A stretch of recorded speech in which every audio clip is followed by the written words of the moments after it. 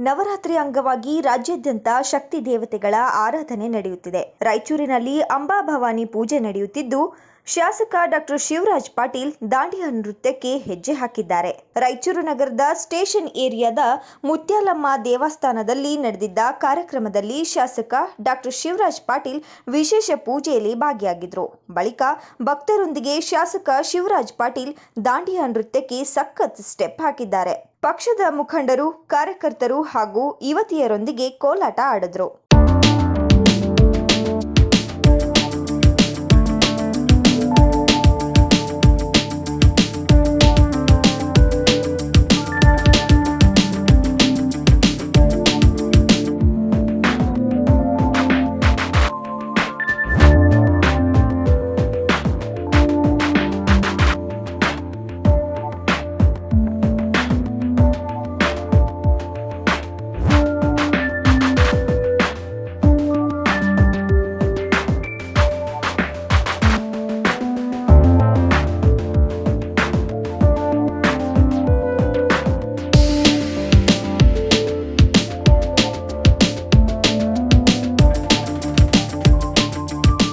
S ನೋಡಿದಲ್ಲ ಈ story ಬಗ್ಗೆ ನಿಮ್ಮ ಅಭಿಪ್ರಾಯ ಏನು ಅಂತ ಕಾಮೆಂಟ್ ಮಾಡಿ ತಿಳಿಸಿ. ಹಾಗೆಯೇ ನೀವಿನ್ನು ನಮ್ಮ ಚಾನಲನ್ನು ಸಬ್ಸ್ಕ್ರೈಬ್ ಆಗಿಲ್ಲ ಅಂದರೆ ಈ ಕೂಡಲೇ ಸಬ್ಸ್ಕ್ರೈಬ್ ಆಗಿ ಹಾಗೇ ಫೇಸ್ಬುಕ್ಕಲ್ಲಿ ನೋಡ್ತಿದ್ರೆ ನಮ್ಮ ಪೇಜನ್ನು ಫಾಲೋ ಮಾಡಿ.